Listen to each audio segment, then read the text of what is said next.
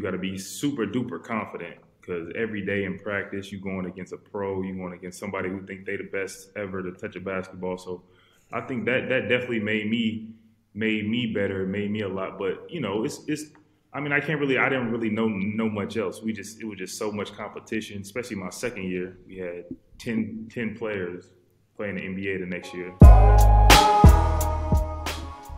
Welcome back to the Role Player Podcast, presented by Swish Cultures, available on all Swish platforms. So if you're watching this, go ahead, hit that like button or follow button for us right down below. Also available on Spotify, Apple Podcasts, or anywhere else you get your podcasts. I am Jordan Taylor, joined by my guy, the CEO slash co-founder of Swish Cultures, 11 year vet and Stanford gentleman, the one and only Anthony Goods, man. He's all ready to go, making a little move to Madrid today. Got his his hair is fresh. I'm back. Like I never left. You know what I'm saying? Looking a little smooth. Got that African cut where they did me like a little mohawk. I was like, I ain't like it at first. I was like, oh, that's all right. You know what I'm saying? Looking smooth as always for the most part. it looked like you pushed some corners back, or was that Father Time? Yeah, yeah, that's a little bit of both, man. That was a little bit of both. Buddy, cut, Buddy started cutting my hair. He started cutting around the edges like this.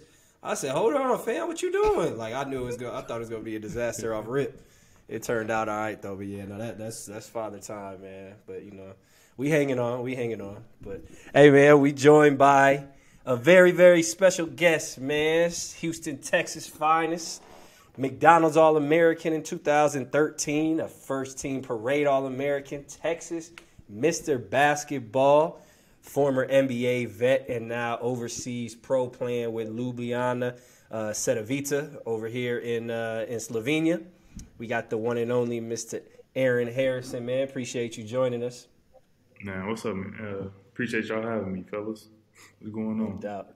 No doubt, man. No, man, you wearing that Texas hat proudly. I know y'all y'all sweat beating yeah, up we on on a little run. Man. Yeah, we on a little run right now, so you know. yeah, they still cheating over there. I'm about Astros? to say they over there. They over there.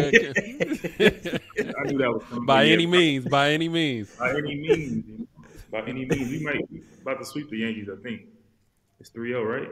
It's three S. I think so. Yeah, yeah. Mm-hmm. I don't even. I don't even watch a baseball like that. I only. I feel like it's the Astros and the Yankees every year. At least the Astros for sure every year lately. Yeah.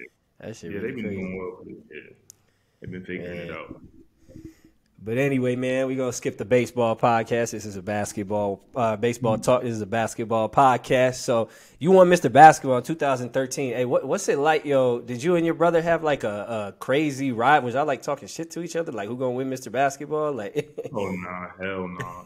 Uh, I was more like a scorer. My brother more of a point guard, so he didn't really care, you know. Like he yeah, just really yeah. got me to rock and it wasn't, you know, playing playing in high school you usually play by yourself you don't really have like another person on your team that's as you know as talented or whatever. And it was just you know I was lucky to have a point guard that was the number one point guard in the country. Just give me the ball, do whatever. So mm-hmm. now I wouldn't have Robert, and he was he was helping me out really. Man, speaking of that, obviously, like you said, high school, you don't. Most all of us, we don't get to play with as many people who are as talented. Obviously, everybody knows you. University of Kentucky, Big Blue Nation, um, where you play with the most talent. Maybe you play with all NBA talent in college, right? So we're gonna start right there. Talk about some of the pros and cons of playing with multiple other NBA players in college. Like, because obviously, you know, some people look at that and it's like, oh well, it's easy to go to Kentucky and get drafted because it's like everybody get drafted from Kentucky, which is probably somewhat true, but also it's like you got to fit in amongst pros. So talk about the difficulties and and the pros of that. Well, you just got to know. I mean, uh, you just got to know what you do. You got to be super duper confident because every day in practice, you're going against a pro, you're going against somebody who think they the best ever to touch a basketball. So I think that that definitely made me made me better, made me a lot. But you know, it's it's. I mean, I can't really. I didn't really know know much else. We just it was just so much competition, especially my second year. We had 10, 10 players playing the NBA the next year of one team. So uh, it was just you know it was just so much fun, so much competition, uh, and we and we really actually figured out how to play together. We really want to win, so uh, you know it was just it's, it's that's that was a special experience that I'll, I'll, I'll never forget for sure. Was you know it's funny? I think like I think back to uh, only time I kind of experienced anything close was like when I come back and play against the UCLA guys in the summer back when they had Darren and Russ and Kevin Love yeah. and all them, and they had a bunch of NBA guys and you know you know, I was at Stanford, you know, just kind of a, you know, score there and then coming down to UCLA and just seeing how each of those guys kind of like, you know, how they worked out, how they played ones and, and, and just different things. Like you could just tell the environment was different when you have that many guys that are thinking NBA and they actually got that kind of talent and not even just the talent, the mentality and the competitive, the competitiveness. So I can only imagine like out of Kentucky, man, it's like, you know, as good as anybody is coming in there, it's like once you start seeing other people that are just as talented, maybe a little bit older and whatnot, I'm sure it definitely makes you uh, like raise your game to a whole nother level, like day in and day out. Yeah, for sure. We was definitely uh, we was definitely uh, talking shit all every practice. We'll go play ones at night. Uh, just just the the inner like the it's just so much you, you can't really take a day off, you know. If you took a day off, you're not playing that day, or you look bad that day, and uh, it definitely prepare you for the next level, and, and uh, you you really appreciate uh, getting pushed like that um, at, at, such an early age. Because most guys, you know, I mean, obviously it's a lot of talent on a college team, but it's not ten NBA players on college teams, and uh, so it's just it's something that that's a great experience that I could that I could. I mean, I, I feel like I learned so much, and I can actually when it's time, I feel like I could teach so much just from that. Shit, it ain't ten NBA players on NBA teams sometimes. Yeah, nah, Definitely not. Hey, but but listen, man. Just so for for those that know you, your your sophomore year, especially, you played with uh, Karl Towns, uh, mm-hmm. Devin Booker, um, your brother, yourself. Uh, who am I missing? Uh, uh Dakari Johnson, right? uh, Dakari Johnson, uh, Alex Poythress, uh, Trey Lyles, um, Willie Cauley Stein. God damn. Yeah. so yeah, just just to, yeah. Go ahead. Go ahead. No, we had, we had, we had ten for sure. We had we had we had five and five that you know Coach Cal tried to do the uh, platoon thing where five people in, five people out. Um, so yeah, we, we definitely had ten that could go for sure. So just just just for reference for those listening, but my question would be, as a scorer, I feel like, like you said, your brother was a point guard. I feel like that's a point guard's dream as a point guard myself. Like when you could get a, yeah. you know, you pushing the break, you got yeah. Corey Johnson or Karl Towns running the floor, whatever, yourself running the wing. But as a scorer, I feel like it's even more difficult because mm-hmm. how, how did you how did you find your rhythm amongst that many players? Was there anything that you did specifically to, you know, to stay confident? Was there ever a time where your confidence wavered? I mean, confident. It, it, it was tough, especially that second year. It was very, very tough. But you know, at that age, like nothing can really waver your confidence. Like I, you know, everybody, I'm, I was gonna be the next Michael Jordan in my mind. You know, what I'm saying the next Kobe Bryant in my mind. You know, so it wasn't really confidence. It was definitely like I had to adjust, not okay, this every possession not about me or every other possession not about me. You gotta, you know, take what you can get and look the best and and give them what they're looking for, really. So that's really what I had to learn. Yeah, I thought that was dope. I actually remember one of the one of the dopest things. I was one of the first times I got to see you play in person was the was the Final Four against Wisconsin. I was yeah. injured and I was back, and I, I think you didn't you didn't score in the first half, right? Yeah. And I, I was amazed by I think you had like maybe eight or ten in the second half, but you was always like you stayed in the game defensively and then to be able to hit a 40 35 foot three for game was yeah. one of the most impressive things I've seen like as a scorer I feel like you wasn't really getting your touches so to me that was really the true mark of a, store, a scorer and it was it was impressive to be honest yeah I mean that's one thing I, have always been comfortable at the end of games I mean uh, it's just I, I, don't know it's just something that I, have always had uh, you know, but it, it was plenty of college games that I didn't get.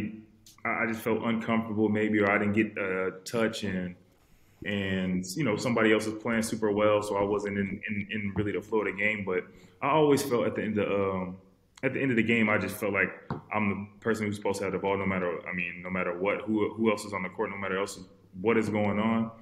I think I, I've always been super confident at the end of the game. How do you how do you navigate? How did you navigate um, actually going to the NBA. So it's like you stayed for two years, right? And you could have left after your freshman year. Uh, so how, how did you navigate that decision making process, and what is there? What if anything would you have done differently going back? Whew, uh, differently, shit, probably just left for real. Uh, Yeah. You know, the more they get to see you, the more they they pick at your game and say what you can't do and shit like that. So, I think, I mean, if I could do something different, I probably would have uh, maybe would have considered leaving more my first year. Um, but I definitely I, I wouldn't trade that second year for a world uh, for the world. I mean, we went 39 or no, I think 38 no, and just one of the best college teams ever. We didn't, you know, we didn't win the chip, but definitely being a part of one of the best college teams ever is a great experience, and you know, can't trade that. What uh what went into the decision to come back? Uh, you know, just coach, um, Coach Cal, my dad, you know, uh, and me and me and my brother. We just, I think we just decided like, okay, we could we could come back and really put our stamp on it, be the best, really players, guards in the country, and just you know be comfortable in the draft instead of being worried about the draft, or whatever. And it didn't it didn't go like that, but I, I mean, I still wouldn't go back and change nothing just because of the experiences and, and, and the stuff that I learned. So. Do you do you think uh, yourself being like you said McDonald's All American? Do you think there or do you see the value in someone like yourself going to an HBCU or a smaller school and just rocking out as opposed to going to you know the blue blood Kentucky and being amongst pros? Yeah, I mean, definitely. Uh, its times have changed, and uh, so I definitely might uh, say if I have a son that could play at a high level, I definitely might, you know, give him advice that my dad couldn't give. My dad did the best, but he, you know, he wasn't. He didn't. He didn't really know. So maybe going somewhere that you could do whatever you want, be the man, and show your talent um, is the way for some people, and some people who you know need to be around guys and need to be uh, kind of hidden to a certain extent. Go go where you need. To. I think every every situation different. It depends what position you play, who the coach is, where you comfortable at. So yeah, but HBCUs are definitely something that uh, I would have definitely considered way more if I was coming out of school now than I did before.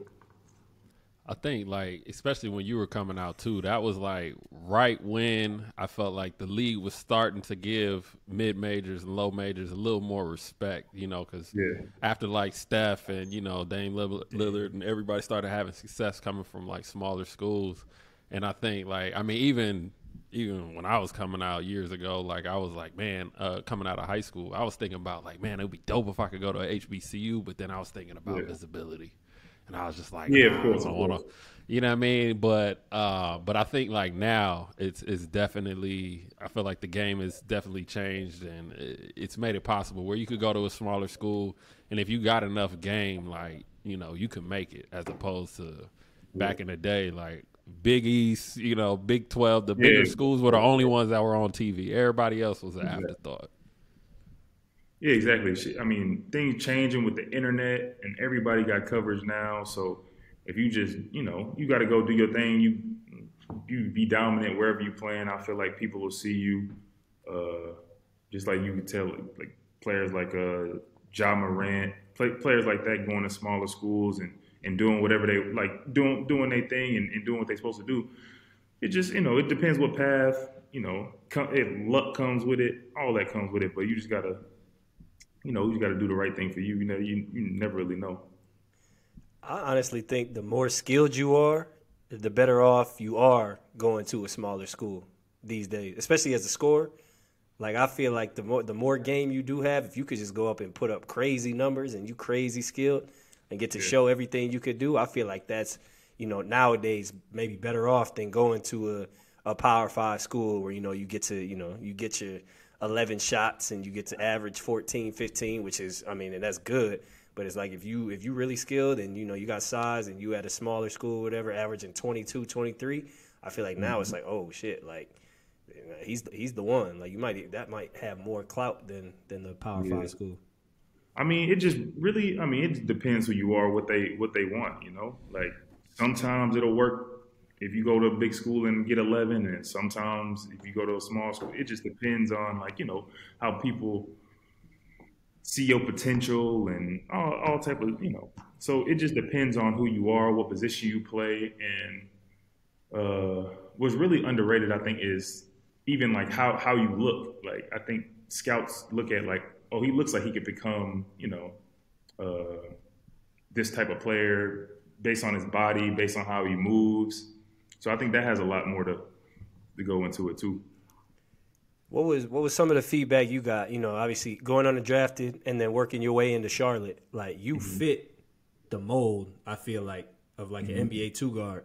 So yeah. what or NBA combo, I should say. But like, so what was some of the feedback you got? Um, you know, going into it and then after the fact. But the funny thing is, I mean, I never really had no bad feedback. Like I had a couple teams said they would take me, you know, if I was there. Mm-hmm. Um, so I didn't really have no feedback become a more consistent shooter, I mean, that comes with you know being mature and being in the gym more as a pro and stuff like that. But to be honest, I didn't I didn't really have no no negative feedback. I can't really remember uh, a team or someone saying, "Oh, this is what you need to do this. This is what you need to do that." Okay, goods. What feedback you get, man? Man, I wasn't uh I wasn't a point guard. I wasn't passing the ball. I couldn't I couldn't I couldn't pass the ball. They like he could shoot it, like the shooting drills, one on one stuff, I was good. I could cook there, but you know I mean, and that's one thing I think that like I started to pick it up a little bit like early in my career, but like especially like as I started to play in Europe a lot more, man, I got so much better with the pick and roll. Like back yeah. then I was very basic reads, and then at six three, you know what I'm saying? It was, um, you know, I think that was kind of that was kind of my crutch was just not being able to be like a point guard, a reliable combo guard that could really just run the point and you be okay for 15 minutes, you know. Mm-hmm. Mm-hmm. That makes sense. What about uh, what y'all think of uh, of NIL and how that would change? Obviously, people get money and all that, and it's great. But I want to know more so like, cause shit, you you was getting at Kentucky, you getting Stanford. I don't know, I don't really fuck with Stanford like that. So you was probably getting 50, 50 we, 75. We getting that Yahoo, like Google that. money, man. We be getting. All, yeah. I'd have been, I'd have been, I'd have been a, I'd have been a co-owner of Instagram by now. Yeah, you would have been an engineer. Then you wouldn't been playing no basketball. but nah, at Kentucky, you get you get you getting a million, five hundred, a million. I would imagine at Kentucky, easy. So how would that change your decision making process in entering the draft and choices to go overseas potentially as well? Oh well, I mean, as of now, I probably wouldn't have. I mean, I probably wouldn't advise somebody to even go to school right now. Like, if you if you just if you know, like some people know, like if you got it, you got it. Like, um, go to the Ignite or whatever it's called in the G League, or go make some money because school is for certain players and certain players is not. To be honest, I think uh, if you know that you're gonna be a pro and that that's like it's just you know there's no need to go to school and just get nitpicked and people just oh he can't do this he can't do that especially now like there's other avenues to get to the NBA and get whatever you know what I'm saying so uh but for I mean but school the experiences that I got from school like I said before is just unmatched like so I can't say that I, I, wouldn't go back to school, but with the NIL, that shit is just getting crazy. And I think if I had, if somebody gave me five hundred thousand when I was eighteen, it probably wouldn't have been a good idea. Like, it wouldn't have been great. yeah, it's like how do you stay in the gym? How do you stay in the gym? I, I just think back, like there were so many times in college where I couldn't do stuff because I didn't have money and I stayed home or you know I just went and kicked it with the homies and at the gym yeah. or whatever. Like if you got five hundred and they give you two days off or whatever it is, like yeah. flying back home. You know what I mean? You're gonna go yeah. kick it with the with the boys from high school. Like I don't know, man. I it would have been a distraction, but I think it, it definitely. I mean, maybe not for Aaron going to Kentucky, but I think for uh, a lot of kids, it definitely affects on where you're going to school coming out of high school. You know that whole NIL decision, and then uh, for some guys that may be borderline second round undrafted, I think you know right. you definitely have to look at all right, maybe I should stay in school and get this guaranteed yeah. money as opposed to you know that risk. Yeah. Hold on. So you choosing right now You choosing both of y'all choosing or ignite over going to Kentucky for a year? You and, and this hits home for you like this way, you know, Aaron. Ooh. This for you. You a McDonald's All American. You choosing ignite over Kentucky? No, I'm not. okay, I, I, can't. I can't do that. I, I'm not gonna say that. But I'm saying if I had a kid right now, if I had a son, or you know, what I'm saying I'm trying to help him, I would say we got to check this. You know, the school thing is nice and all, but is this the best way to get what you want out of life? You know what I mean? Nah, facts, facts. But I think I, I don't know. I might be an optimist, but I feel like people you selling some of these kids short. Like I feel like kids still have the bandwidth to understand. Like if you give them five hundred thousand, but you looking at what Jordan Poole just signed for, one hundred forty. One forty. Yeah. Or even like okay, say a cat like Mike Tyus Jones signed two for thirty like I feel like kids still have the bandwidth to be like, all right, this 500 is nice. I'm gonna stay in this gym and turn this 500 into 15 a year. Yeah, I mean, pro- I mean, at that age, I'm 500 is everything, you know. Like if That's I had 500,000 when I was 18, I mean, I would have thought I was just as rich as anybody else. Yeah. Um, uh, but yeah, uh, Five, I don't know. 500 now. 500 now, I'm gonna think I, you know what I'm saying? Five, yeah. shoot, I'm good. Give me 500,000 right now. We good. Yeah. yeah. but yeah, like now we can, you know, I, am gonna turn it into something, and you know what no, I'm saying. But when I was a kid, it was just, I just, I just can't say uh, I would pick something over Kentucky just because of the experiences that I had. The, you know what I'm saying? Like that, that shit is unmatched, like unmatched. So, and you know, I don't know. But and it's relevant because these kids are doing like Scoot Henderson. Had, I mean, he's a Kentucky kid, exactly. right? Like so, exactly. and he's choosing Ignite. So I'm I'm trying to figure out like, is he really benefiting from choosing Ignite over Kentucky? Is it the play style, like being able to play that NBA style? Is that gonna is that really going to help his career uh, that much?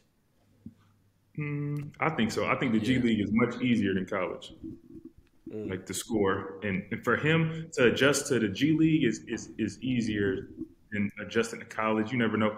Your coach could be correct, or the coach don't like you, or you could be, you know, what I'm saying, like you get. But if you in the G, you you you just you playing, you know, you they want you to be something, so you you gonna be it really. If, if, that's I think that's how the league really work. If they want you to be that, and if you got if you work hard, you I mean they're gonna give you the opportunity to be that if you if you can. You know, in Kentucky you could have you could go there and maybe it, you know maybe they don't like you as much because you know what I'm saying. So that's what I yeah. think. But I think in the G League too, you kind of get a better look for you know somewhat of what the speed of an NBA game will be like. So I think you are preparing yourself in that way. You're dealing with you know, a faster paced game, you know, with the with the NBA rules, you know, you probably got a lot more uh, length than you would like in college playing, and then also the playing style, like you know, you fuck around play against a slow ass school like Wisconsin, like what is that really doing for you? you know what I mean? So I think that you know, um, playing in the ignite, I think definitely offers somebody like Scoot, like if you're ready. But that's the thing is yeah, like everybody's not ready. You know what I'm saying? It's like Scoot Scoot was ready. He was ready a couple years ago, but if if you ain't got that level of athleticism, toughness, and talent, like it's gonna be a bad look for you, and you do need to go to a Wisconsin and kind of hide. hey, look, let me tell you something, man. let me tell you something. What was y'all record, Aaron? You said it was thirty-eight and zero. Oh? Ah, yeah, it was. It was th- that was y'all record. Mm-hmm. What was your What was the real record at the end of the year? Uh, 38 and 1, I think. And who y'all lose to? Uh, some slow ass team. I don't know. You see, you see how the internet do. oh, there we go. There we go. Who y'all who y'all lose to? Oh, we lost to some slow ass team. slow ass team. always want to hate till they catch an L. hey, and goods. We all we gotta do is wait another couple weeks, and y'all gonna be in the same boat. Of course, y'all. Oh, we do that. That game is coming up November 11th, but yeah, hey, but like like I said, man, I, I can't I can't do it with Aaron, but you know what I'm saying, who had the most pros since 2000, man. So you know what I mean. I can't I can't do it with Kentucky. We, we have a, we have an ongoing a running debate with. uh he thinks Stanford. Everybody that come on, he talk about Stanford got the most pros, but he real quiet when you get on here. Oh, we do. Yeah. Stanford got the most pros. Hell since no. 2000, since 2000, everybody we've had on here, Stanford has had the most uh, NBA players uh, drafted. That's because we've been having Except cats Kentucky, from Rhode Island. Kentucky. We've been having we've been uh, having cats from Rhode Island and, and Lamar. Oh, yeah. You know what I'm saying? So it's like, yeah, yeah obviously, man. Ain't no question. hey, but look, Marquette. we yeah, Marquette, fact. uh, but nah, yeah, ain't nobody hiding at Wisconsin either. I'm gonna let that slide. We're gonna touch on the international stuff, man, a little bit. You know, obviously, as we all international international players or or former players, vets, whatever it may have you. So there's a lot of early cuts going on. Um, in in Europe right now, you know, there was some news that came out talking about Panda might part ways with Andrew Andrews. Obviously, in the NBA side, the Lakers have struggles. Uh, you know, but the Lakers wait 20 games, whereas Europe is so quick to so quick to cut people. So, what do you think about the the environment in Europe as far as like the the team the team structure and the way their patience with players, and how long do you think it takes for a team to truly gel? Uh, well, it depends on what part of the world, but a lot of people they they base it on emotion a lot, like emotion. So the fans and the fans don't like it, then the the you know the front office don't like it, and they and they make decisions off emotion uh, a lot. Um, I don't. Of course, how you gonna cut somebody? It's been like four games over here, right? Three, four games, and they cut people off four games, three, four games. So you know that's based off emotion, um, and you just got to know how to how to deal with emotion, and you got to be able to um, just adjust really um, and just hopefully, hopefully you get a, a, decent coach and he, you know, he appreciate what you can do and, and, give you a chance, really. But you just got to know that that is emotional over here, and people make decisions. They don't really, you know, they don't understand that this our life. We away from our people and everything, and they making decisions because people saying they are bad, you know, making emotional decisions, and so you just gotta, you gotta, you just gotta hope for the best, really, and just play try to be productive in, in what they can do. Just like we was talking about in my last game, you know, I, I don't, you know, it just it just depends on how the coach is feeling emotionally that day. Man, you ain't lying. You ain't lying. How much how much do y'all think that the fans affect front office decisions in the NBA and in and in uh, Europe?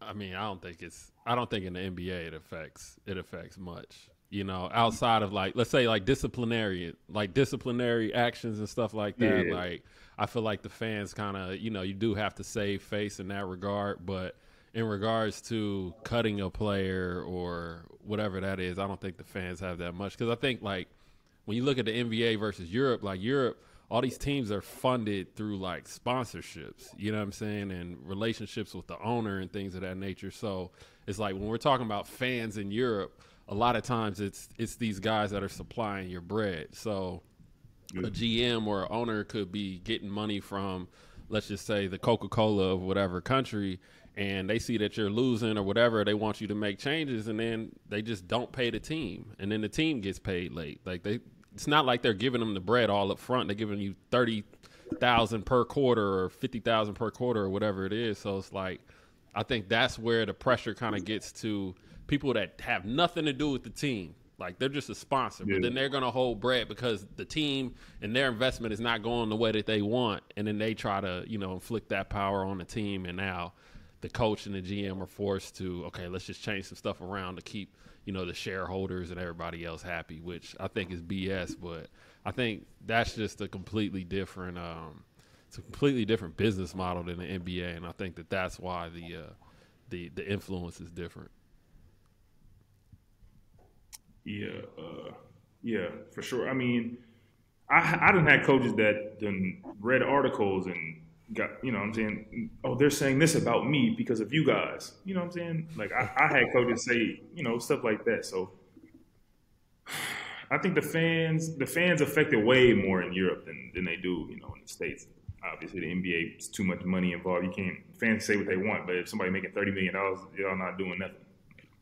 They're not. They gonna keep playing, and they gonna lose or win. They gonna keep playing, no matter. But over here, the fans have a lot to a lot to do with everything. You know, fans start throwing stuff on the court, uh, booing, everything. They don't care. You know what I'm saying? So they emotional. The fans are emotional as well. So. Yo, what was it? What was it like when you first came overseas? Like, what was like your, uh, what was like your welcome to Europe moment, or like just the craziest moment? You just like, yo, this is really different than than basketball in the states. Shit, uh, my first, uh, oh yeah, probably my first road trip. Really, um, we played Red Star, and uh, I was on uh, Galatasaray, and they, they got a weird rivalry because uh, I think um, a couple years before that, a Red Star fan died at one of the Galatasaray games. Like one of the fans killed him.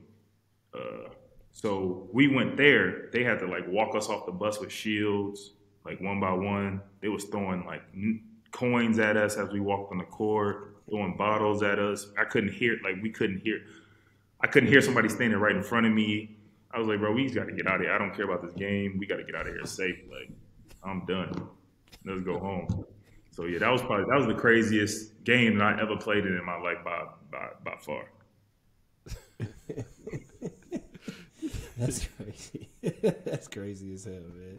Yo, so what? Um, but if you if you had a kid, like we you've, you've mentioned, if you had a kid, what would you do? With, what you would do with him a couple times? Would yeah. you want your kid to be an overseas pro? Mm, what would I want? I mean, yeah. Uh, would I want him to be an overseas pro, as opposed to what? Like, you mean like nothing? Mean? Like if if it was just like, is this a lifestyle that is like is it a lifestyle that is um, what's the word I'm looking for? Is it a lifestyle that is uh, desirable for your mm. child? yeah, I, I, think I think he could. I mean, I, overall, I would say I enjoyed my experience overseas. I mean, I've had some obviously some tough days, some tough tough weeks, but uh, I definitely appreciate it. It make me it make me appreciate a lot more. Like in the states, it make me appreciate my family more, everything like relationships more. So yeah, but I think that I know enough to to how to how we can avoid that. If he got the talent and you know if he got everything, I, think I know enough to, so we can avoid that for sure. no, facts.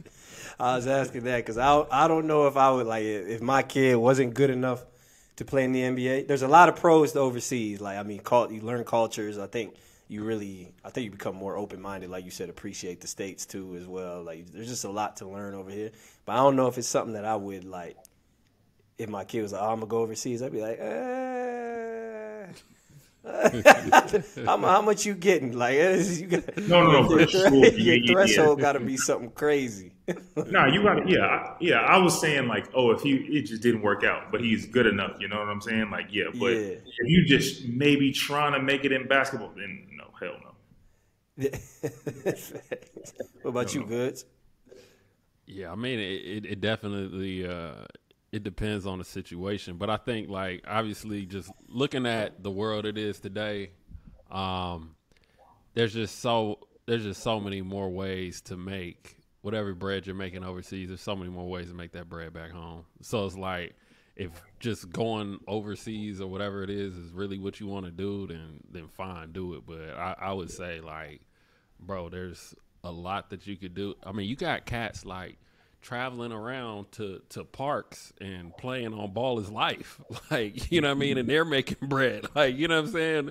King of the court and all these little tournaments and stuff like that. Like there's just I mean, and again, this is just based off of what we know now, just with the internet and whatnot. I mean, you really you really don't need to go over there to make bread. You could do it being here, be a dunker.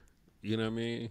Like there's there's cats out here making making bread just doing just dumb shit. So yeah, exactly. My arm's yeah. too short for all that. What's missing from the overseas experience like that would make it better? What y'all think? Mm-hmm. I mean, we overseas. Uh, so, I mean, I don't, I don't really know. Like, it's just being away. Like, you just, you just gotta adjust to a whole different life. You gotta, people don't understand you. You don't understand them. Uh, I, don't really. The money. It depends on what team you. Really, the money. If the money, if the money go up a little bit and they could be on time and it could be like a little more, you know, just a. I think that'll that'll make it a lot better, to be honest. Yeah, I think I think money, and then also uh, well, money in regards to the amount being on time and things like that. But I think also like if we could just get rid of these teams in these small ass cities, like you know, just move them out the way and like only big, only big cities. You know what I mean? And you just play on those teams and that's it. I think that will make it a lot more enjoyable too. Because I think, yeah. I think some of your worst times, or at least in my career, was just when I was just in like a small ass city, far away from anything, and you just going nuts. Like your mama don't even want to come visit you. You know what I'm saying? Like well, you don't even want your mama to come visit. Right, exactly. Like you know what I mean? That's when that's when it gets tough. Nothing like I think I think it's I think it's synced up all star breaks, man. Every country gotta have the same all star break. Everybody need about everybody need a week off, man. We all going to mm-hmm. Istanbul, man. That's what I need. We all going to Istanbul. We all going to London. Yeah, all That's synced up. You know, one thing I, ne- I never really played in like uh, well I'm in Slovenia now, but this is probably the slowest place I played. But I played in all pretty pretty decent cities. I played in Istanbul and Athens. So I mean, I, I really enjoyed a, like a lot of times off the court. But I I mean I, I got I got homies that played in you know fucking everywhere, like literally everywhere. Like I got friends that play in Mexico that make twenty five hundred a month. Yeah. Like yeah. just because they want to play basketball. See, if that's what you're saying, going back to like my son, my son will never, I would never let my kid do that. No, you ain't got it, you ain't got it. Let's get a job. Right. take it, take it on down to H and R Block, huh? Yeah, Yo. Yo, I had a conversation with the homie the other day, and he was just like, "Yo, like, if they could remove like all the political, you know, the political stuff behind this decision, like now is like the perfect time for Champions League to go snatch up those those Russian teams, those big Russian teams. Like if you think about it, it's the golden opportunity. Champions League added CSKA, Zenit, UNICS. That changes BCL in a com-. It changes BCL in a completely different way, man. Like, but obviously, I mean, there's just so many political implications behind that decision. But I mean, the opportunity is uh is there, man. That's that's crazy. It look like EuroLeague about to expand to Dubai um, in a couple of years. So that's uh, you're about to look different in the next uh next couple years. I swear, miss all the good shit, man. Yeah, I was about to say as soon as I finish, they about to have buy and up the money and you know what I'm saying. They'll be traveling to the states and shit. It'd be flying exactly. charter. They're gonna doing all this extra shit. Like, nah. As soon as I finish. Did you want to hit the culture question? Ed? Yeah, yeah, man. So recently, man, like Nike signed uh, the majority of the lottery picks to like shoe deals, like Jaden Ivey, Jalen Duren, Chet Holmgren, et cetera, et cetera. But as we know, like there's a dis- decreasing number of uh, signature shoes for like NBA players. You know, obviously outside mm-hmm. of like the the superstars, uh, many more players are signing like product deals and things of that nature. So my question is, does it make sense for players to sign with a smaller shoe deal and make more money? And then the second part of this question is, what impact, if any, does being a Nike athlete have on your career? Uh, well, I'm gonna go with the the money. Me personally, um, I'm gonna go with the money, but I understand. Like the Nike, you know, Nike is the biggest, the best. You know, what I'm saying you can't deny Nike. Um, and uh,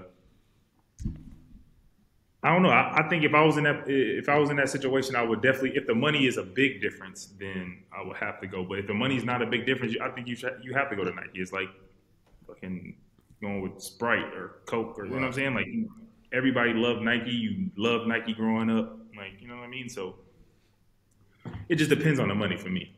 What's, what's the what's the threshold? What do you mean? Like what's the like what's the money difference? The biggest money difference that you'll accept is like fifty thousand. You going with the money? Is it like ten thousand? You going with the money? Or are you oh, going with no. you know what I'm saying? No, I got to be bigger than that. So like a hundred thousand. Yeah, a couple hundred thousand. Yeah. Okay, okay, all right, all right. Let, let let's let's put it like this. Let's say Nike's only offering you a product deal, right? So you just got a Mm-hmm. product deal. You ain't getting no extra cash, um, but you got an allotment throughout the year. to Take care of your Yeah. family and whatever you need.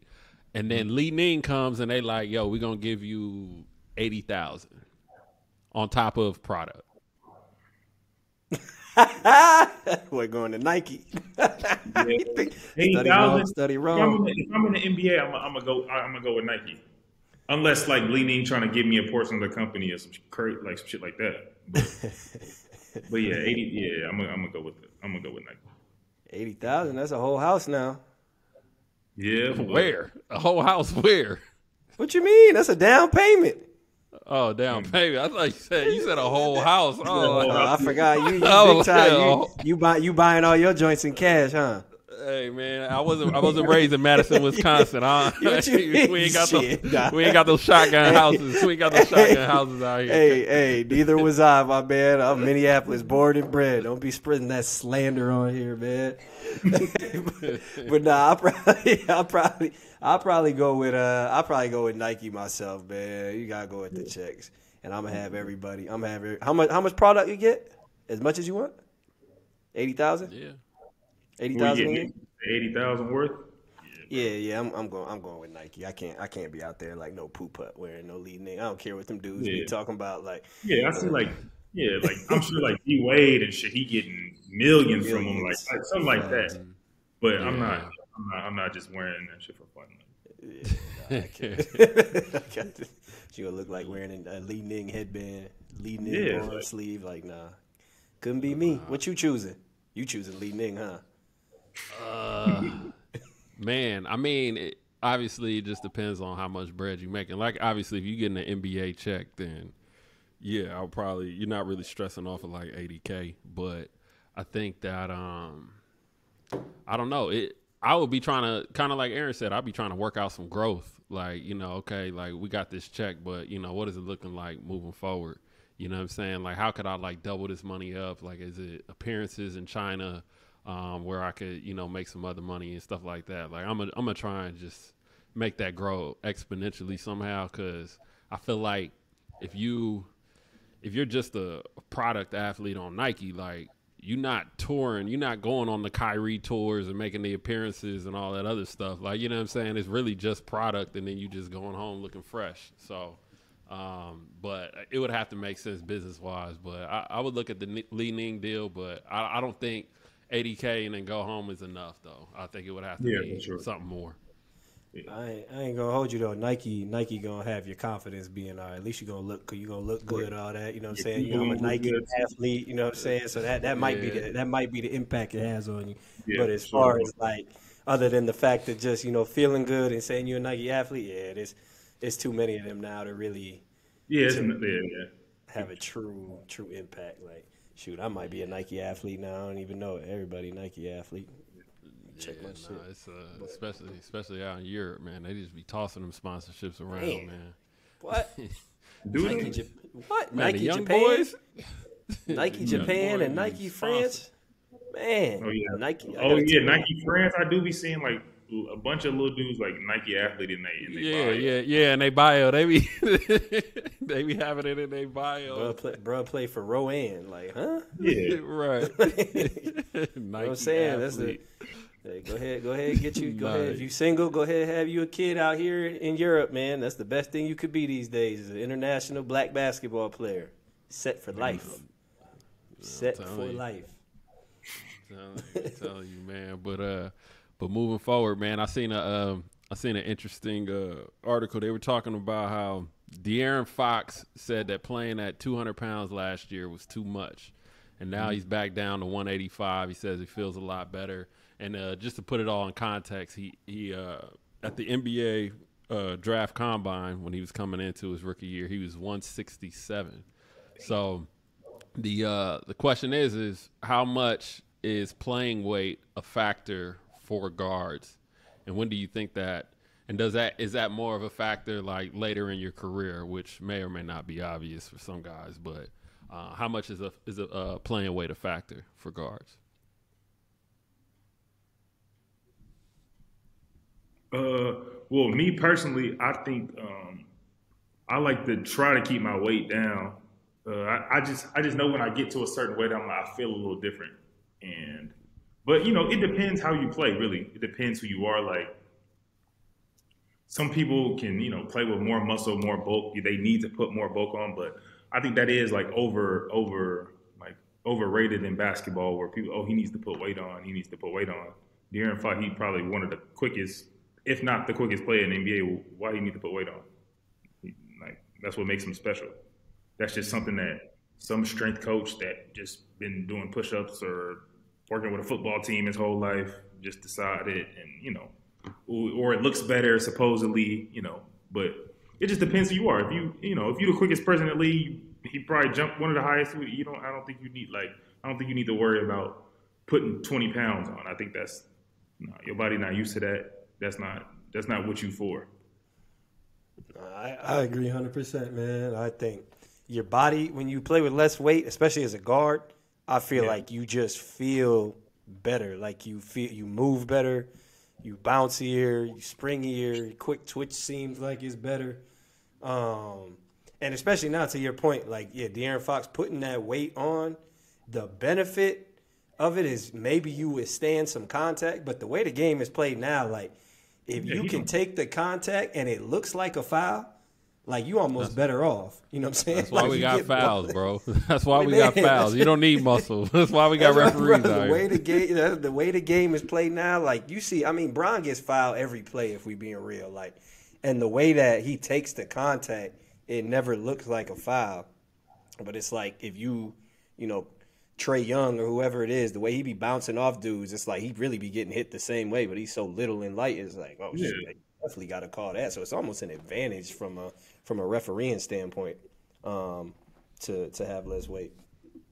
Yeah, I think it's a. It, I think it's an old school mentality, man. Like, exactly. you know, because you see, I mean, you saw Jordan was lifting before games, and you seen Kobe put on the muscle and stuff like that, and it's every player is different. Like, you know what I mean? And then you look at somebody like Steph. Okay, like last year they were talking about how his body changed, but Steph is probably the best shooter we've ever seen in life. Like he's a skilled player. It doesn't matter if he's a step slower, he's still gonna shoot that joint from half court. So I think that um, somebody like a De'Aaron Fox, man, um, I, I, think as you said, like his speed is his skill, and he has to stay at a at a weight where you know he can move, you know, at a at a faster pace. Because if you take his speed away, now he's becoming an average NBA player. You know what I'm saying? And yeah. I think that that hurts. Jordan, Jordan, and Kobe too put on weight when their game slowed down. Exactly. Yeah, just like Steph is doing. Yeah. Mm-hmm. So when your game slows down, okay, put up, put on the weight. You might have to, you know, you know, you're playing more in the half court. You're not moving at the same speed as before. You might have to withstand some more contact. That's a different story. But De'Aaron Fox is what 25, 20. Yeah, he's young. Yeah, maybe. I mean, yeah, they say like I feel like get stronger. Yeah, but it's different. I don't think you got to like necessarily put on 20 pounds to get stronger. And maybe they saying maybe he do need to get stronger, but putting on putting a 20 pounds on a on a speedy guard is just asking for him to, and injuries. I think I think you like you know my I feel like when I put on weight, my knees start hurting a little more, and you know ankles start hurting a little more. You know what I'm saying? So it just you know it depends your frame too. I don't think his frame is is needs to be 200 pounds. Strength, strength for I me mean, is from the core down, yo. Like it's core down, yeah. and you and you good. Yeah, for sure. Yeah, no, that's uh, yeah. I mean, thirty points. I mean, thirty pounds. You know, from the time you enter into the league, that, that's crazy, yo. Yes. Thirty pound difference. That's that's tough. That's why we played so fucking slow at Wisconsin back because we used to be lifting all them damn football player weights and couldn't move. Yeah. Bro, yeah, knowledge, knowledge strength and conditioning is is very uh, crazy. Look, I I had eight surgeries in ten years from my junior year on, and I I truly believe part of it has to do with the way we was lifting, like and just putting on. Because I probably, mm-hmm. I mean, I was always you know strong, but like I was probably 180 and probably like 195 going in 180 and 195 by like going into my sophomore year. Like there's a picture in the restaurant in Madison right now, and I go in, they're still up, and boy, I look like low key I look fat, but it's really just all the the muscle milk Yeah. I was drinking and all the, all the bench presses. milk. next to it. Yeah, they, they, they, they, uh, when I went to school, they made me put a lot of weight on too. Like I feel like I gained probably ten pounds from my freshman and sophomore year. hmm I definitely didn't. I mean, you know, that's what they wanted. So, and you look stronger, and you know what I'm saying. And the strength coach is, yep, you know what I'm saying. He's strong, so he wants you to be bigger and bulkier. But I, I don't think that was like, I don't think that was my, that was what I was supposed to be doing. I'm not gonna mm. lie. I don't think no, but okay, unless you if you a five man, okay, Un, I think Yeah, under Like undersized undersized five men, I think Yeah, are the exactly. ones like mm. okay, go ahead, go ahead and put on the weight because y'all, you know, y'all motherfuckers got to be doing whatever it is y'all doing, being extra, filing people and pushing people or whatever it is. Yeah, they do. exactly. So cool for them, but yeah, other than that, nah. Yeah, it ain't it ain't the business, but uh, we got a paycheck, rain check. Somebody's paycheck is taking a rain check. Today's focus is uh Christian Koloko and Caleb Martin. They got into a little scuffle last night and got ejected from the game. Looks like they're they're both likely to get fined, but uh. Yeah, the conversation surrounding this incident is uh, how important is it to establish an identity around the league and is it more important for guards or bigs to kind of establish that tough mentality and not tough in regards to trying to fight guys, but just more so just like earning that that kind of like respect, like I'm not one to be messed with. Is it is it more important for guards or or bigs to kind of establish that identity? Mm, I, I don't know.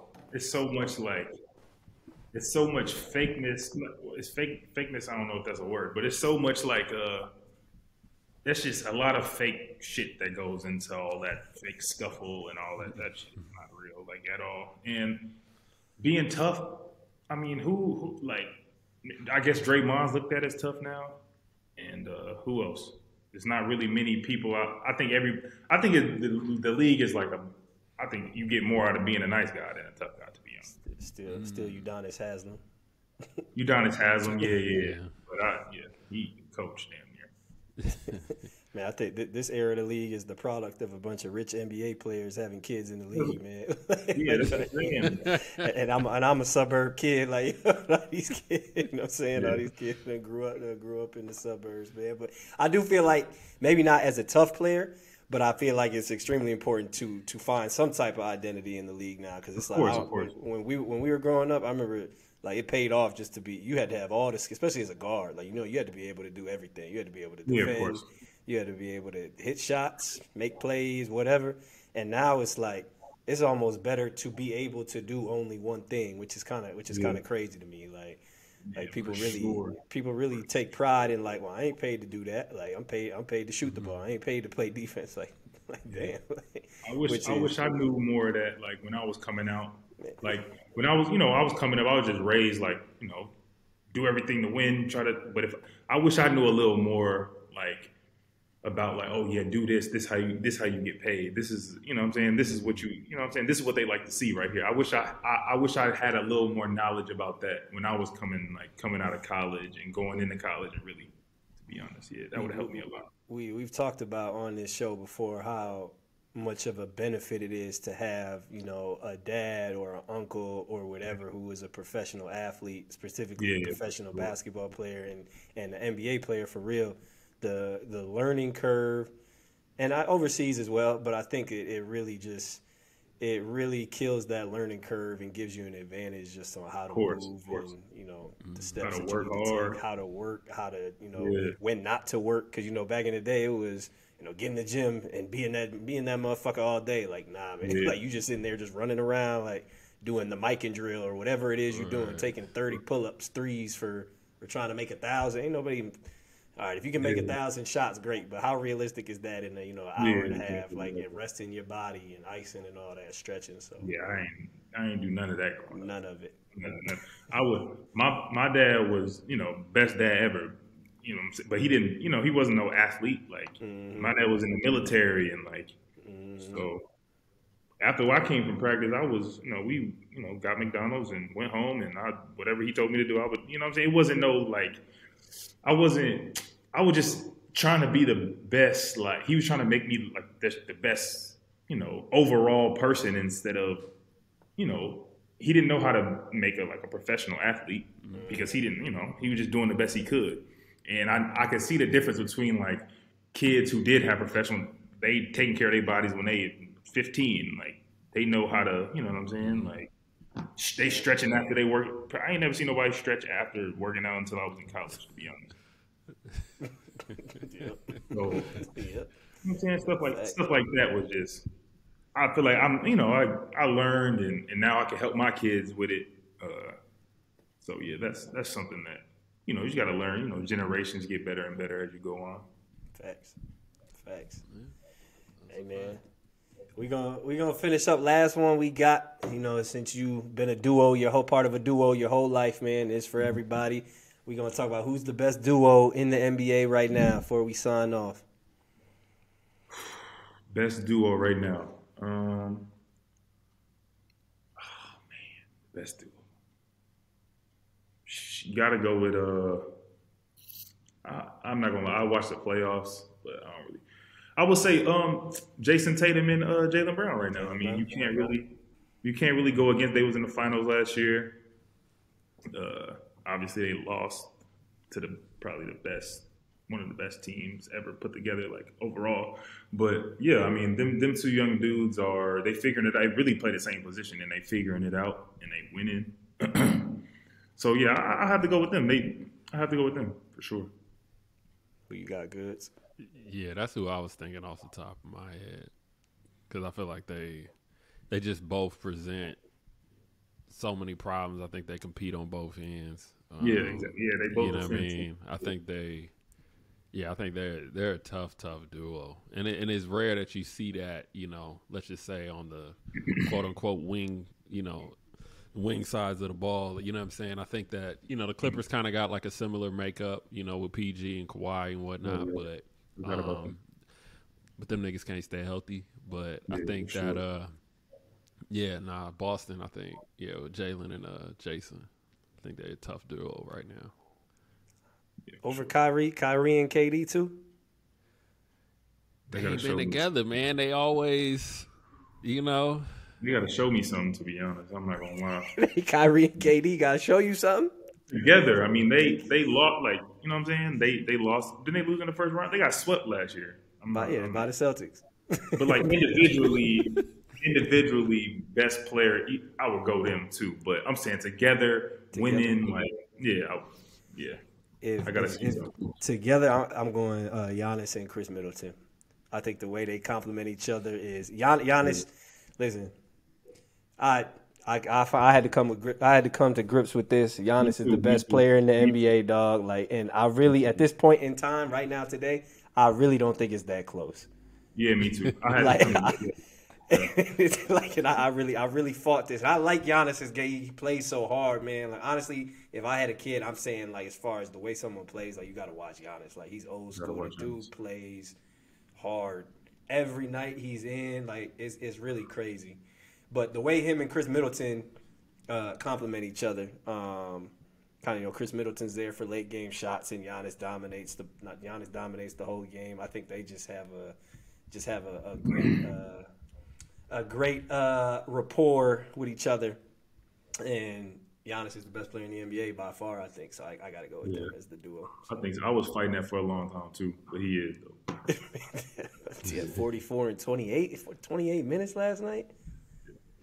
Like, bro, what? Yeah, nah, he's he's tough. I, I think I think too though, like you know, it's funny, man, because I mean, his brother being on his team, his brother, like, if you watch like Giannis, and I was watching Giannis when they were playing with Greece, his brother is like legit, like his hype man. Like yeah. I'm talking about the entire game. He's in his ear. He's yelling him. He's keeping that energy high and whatnot. And I really believe like that's why he's there, bro. He's there to kind of keep the un- keep see, the engine running. You know what I mean? You see, he picked he, his nose the other day for him. no, I know he's like it's like it's like a corner man, like for a boxer. Like you got Mike no, Tyson out there.